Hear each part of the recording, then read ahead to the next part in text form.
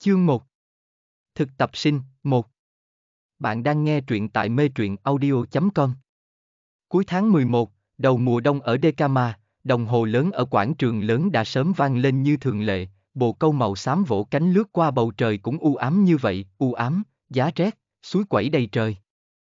Cái thời tiết tốt đẹp này rất thích hợp với việc cướp bóc đưa ma, rất giống với tâm trạng của Yên Tuy Chi lúc này, mấy tháng trước anh vẫn còn cái chức luật sư hạng nhất, giữ chức viện trưởng của Học viện Pháp luật Đại học Met, áo mũ chỉnh tề mà tham gia tiệc rượu dành cho những người nổi tiếng ở vườn hoa, bây giờ mới cách có bao lâu mà anh đã nghèo rất mùng tơi thế này rồi. Bây giờ là 8 giờ sáng, anh đang đi bộ đến chợ đen hỗn loạn nhất phía tây Dekama, vừa chậm rãi uống cà phê vừa quét mắt nhìn vào từng cái biển hiệu cửa hàng chật chội, mặt anh là màu thuần trắng đẹp mắt, nhưng lại lộ ra vẻ mặt vô cùng khó chịu và ghét bỏ, giống như không phải đang uống cà phê tinh khiết mà là cước mèo nguyên chất, anh vòng vo ở đây nửa ngày chỉ để tìm một cửa hàng phù hợp, có thể giúp tìm một ít đồ, tốt nhất còn có thể làm được giấy chứng nhận giả.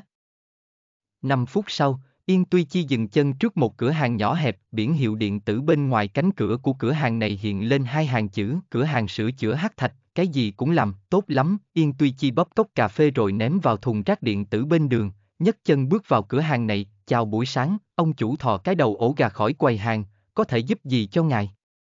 Trong tiệm đầy đủ lò sưởi, cho dù là Yên Tuy Chi bây giờ có chút sợ lạnh cũng cảm nhận được ấm áp. Anh tháo găng tay màu đen, lấy một cái vòng kim loại ở trong túi áo ra đặt lên quầy, giúp tôi tra cái này. Đây là một loại máy móc thông minh, có thể biến hình tùy ý, đa số người đều thích để ở dạng cái vòng để dễ dàng mang theo. Vòng tay, nhẫn, bông tai, thậm chí là vòng chân, thắt lưng yên tuy chi thì không có khẩu vị dị hợm như thế, cho nên thứ trong tay anh là một chiếc nhẫn, tra cái gì? Tất cả những gì có thể tra. Được rồi.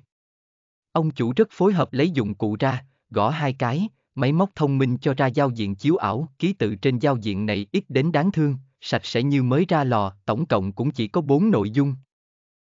Một thẻ căn cước, một thẻ tài sản, một vé tàu con thoi đến hành tinh lân cùng với một văn kiện điện tử bằng âm thanh, từ đạo đức nghề nghiệp, ông chủ sẽ không tùy tiện mở văn kiện lên xem, nhưng Yên Tuy Chi lại khá rõ nội dung trong bốn thứ này, dù sao hai ngày nay anh đã nhìn đi nhìn lại vô số lần, thẻ căn cước là một thân phận giả, tên là Nguyễn Giả, vừa tốt nghiệp đại học, chưa có việc làm, thẻ tài sản là một cái thẻ giả không có tên làm từ chợ đen, số dư còn lại đủ để anh sống trong hai tháng. Vé tàu con thoi chỉ có chiều đi, không có chiều về, ý là để anh có thể cút được bao xa thì hãy cút đi. Chỉ có vậy thôi. Ông chủ hỏi, Yên Tuy Chi cười lạnh một tiếng trong lòng. Đúng thế, chỉ có vậy thôi. Đâu chỉ có những thứ trong máy thông minh này, chỉ sợ toàn bộ tài sản trước mắt của anh cũng chỉ có như vậy, bạn nói thế giới này chưa đủ kích thích, anh chỉ tham gia một bữa tiệc rượu cuối tuần tháng 5 mà thôi, rượu hôm đó có chút nặng, khiến dạ dày anh vừa qua nửa tuần đã không thoải mái, vì vậy anh chào mọi người đi trước, tìm một khách sạn gần đó để nghỉ ngơi.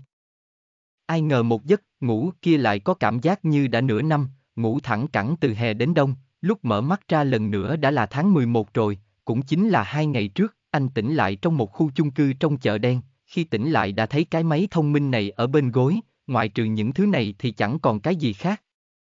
Cũng may là tin tức ở trên mạng quá đa dạng, anh không tốn bao nhiêu thời gian đã biết rõ được đầu đuôi tiệc rượu hôm đó, khách sạn mà anh ngủ lại đúng lúc xảy ra một vụ nổ tập kích, anh đã có cơ hội trở thành một trong những con quỷ xui xẻo đó, chỉ là con quỷ xui xẻo là anh thì khá nổi tiếng, các tin tức ở trang nhất đều lấy những tựa đề màu mè phát khiếp cứ như tiếc núi cho anh tuổi còn trẻ mà đã mất, kéo dài chậm rãi như dắt chó đi dạo tận hai tháng mới thôi, sau đó từ từ quên mất.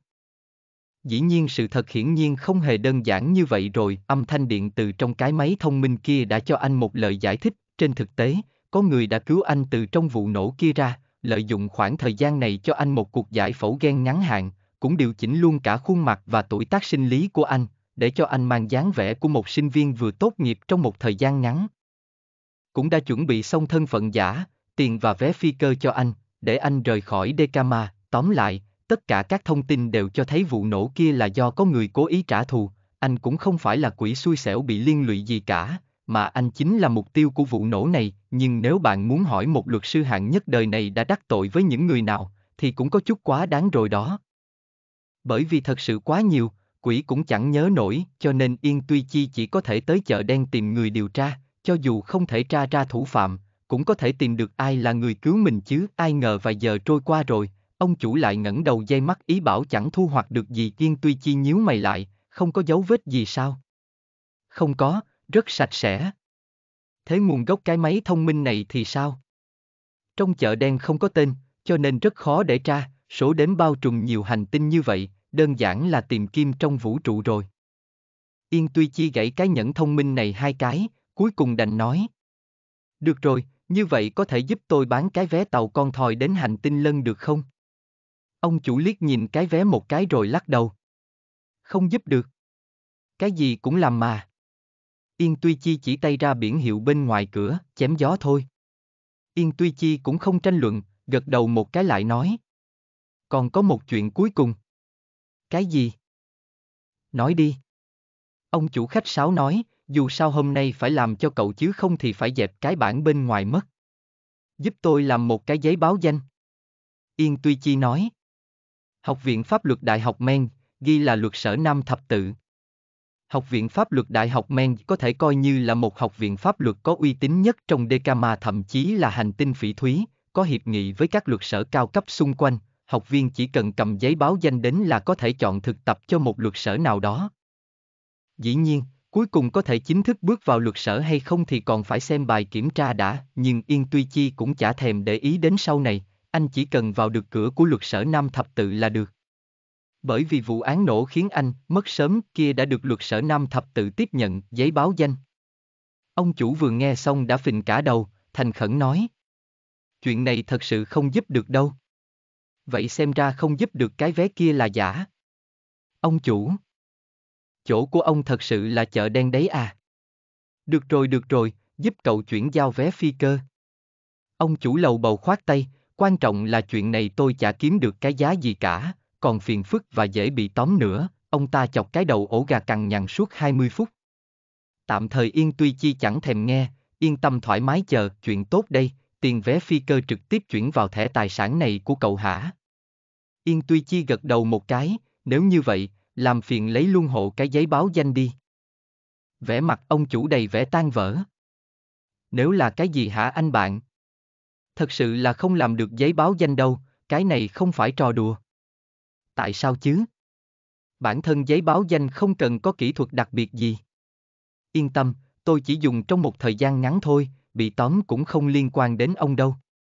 Yên Tuy Chi làm giả đồ của học viện mình, thật sự lương tâm chẳng đau tí nào nhưng mà ông chủ rất đau, bản thân cái giấy đó không cần có kỹ thuật gì, 20 phút là tôi có thể làm cho cậu một cái được, nhưng mà ký tên thì tôi không làm được đâu. Cậu cũng biết mà, bây giờ kỹ thuật kiểm tra bút tích kinh khủng lắm. Yên Tuy Chi nhướng mày. Ký tên gì cơ?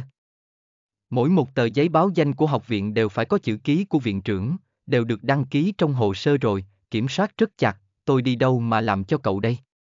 Cho đến lúc này, Yên Tuy Chi đã khó chịu hai ngày cuối cùng cũng cười một tiếng. Cái này thì có gì khó? Ông chủ cảm thấy cậu sinh viên này đúng là điên rồi. Nhưng mà 5 phút sau, ông chủ mới là kẻ phát điên bởi vì ông ta trơ mắt nhìn cậu sinh viên này đặc biệt khoa tay múa chân ký tên viện trưởng trên tờ giấy báo danh đã làm xong, sau khi đưa lên hệ thống kiểm tra lại thông qua, cho đến khi cậu sinh viên này mang giấy báo danh thành công, vênh váo rời đi, ông chủ mới hoàn hồn lại đấm ngực liên tục. Mẹ nó, quên mất không hỏi sinh viên này có muốn ở lại làm việc không rồi. Năm ngày sau, Yên Tuy Chi ngồi ở trong một văn phòng luật sư nổi danh nhất Decama, ghế salon trong phòng tiếp khách mềm mại thoải mái, mấy vị thực tập sinh đến báo danh lại vô cùng cẩn thận, chỉ có mỗi anh vắt chéo chân dài, chống cằm, ngẩng người nghịch cái nhẫn thông minh trong tay, dáng vẻ thả lỏng đẹp mắt, nhìn chẳng giống học viên đến tham gia kiểm tra gì cả, mà giống như đến kiểm tra người khác hơn, một cậu trai tóc vàng ngồi bên cạnh nhìn anh một lúc, rồi lại liếc anh một cái, trong một thời gian rất ngắn không biết đã liếc bao nhiêu lần. Bạn học này, cậu xem tôi có giống như đến kiểm tra không? Yên Tuy Chi đang ngẩn người đột nhiên ngước mắt lên, tóc vàng vừa mới uống một hớp cà phê lại phun toàn bộ ra ngoài, cậu ta lúng cuốn tay chân rút mấy tờ khăn giấy, vừa lau đi cà phê dính vào cầm vừa ngại ngùng nói. Hả? Tất nhiên là có rồi. Vậy sao cậu lại nhìn tôi như bị điện giật thế? Yên Tuy Chi chăm chọc người khác còn mang theo một nụ cười, khuôn mặt của anh lại luôn có vẻ đẹp mắt, luôn nở nụ cười, giống như hòa tan băng sương, đặc biệt dễ lừa người. Cho nên rất nhiều người bị hố lại cứ như gặp quỷ mà cảm thấy đây là một cách thức biểu đạt rất thân thiện, vị bạn học tóc vàng này cũng không ngoại lệ, cậu ta không những không cảm thấy tổn thương, ngược lại còn thấy vừa nãy mình liếc trộm đúng là có hơi vô duyên. Xin lỗi, chỉ là, cậu trông rất giống viện trưởng của chúng mình. Cậu ta dừng lại một chút rồi tự sửa lại. Viện trưởng trước đây. Cậu biết giáo sư Yến còn trẻ đã rất nổi tiếng mà. Đương nhiên là cũng không giống lắm, cậu nhỏ hơn nhiều, nhưng góc nghiêng và tư thế ngồi thì có chút, khiến tôi nghĩ đến cuộc kiểm tra nghiên cứu một năm một lần, cho nên không tự chủ được mà khẩn trương. Tóc vàng nói đến viện trưởng trước đây, vẻ mặt trở nên rất tiếc nuối, cậu ta thở dài. Thầy ấy vốn sẽ tham gia buổi lễ kiểm tra tốt nghiệp cuối cùng, không ngờ lại xảy ra chuyện bất ngờ như vậy, còn trẻ mà đã qua đời, không phải rất đáng tiếc sao? Cậu ta đang muốn tìm một sự đồng tình, kết quả ngẩng đầu một cái đã nhìn thấy khuôn mặt đẫm lệ của Yên Tuy Chi, tóc vàng. Yên Tuy Chi còn chưa thoát khỏi cảm giác phức tạp khi được người khác truy điệu, quản lý nhân sự phụ trách sắp xếp thực tập sinh đã đến.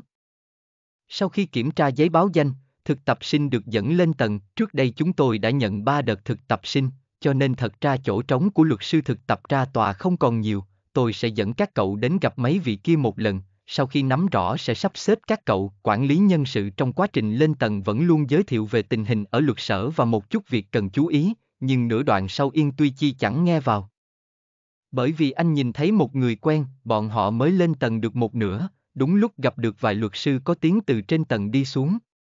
Vị luật sư đi sau cùng có dáng người rất cao, khuôn mặt đẹp trai. Một tay hắn cầm cốc cà phê, một tay giữ tai nghe màu trắng, hình như là đang truyền tin với ai đó. Ánh mắt bình tĩnh đảo qua trên người đám thực tập sinh này, bày ra một sự lạnh lùng khó mà đến gần được.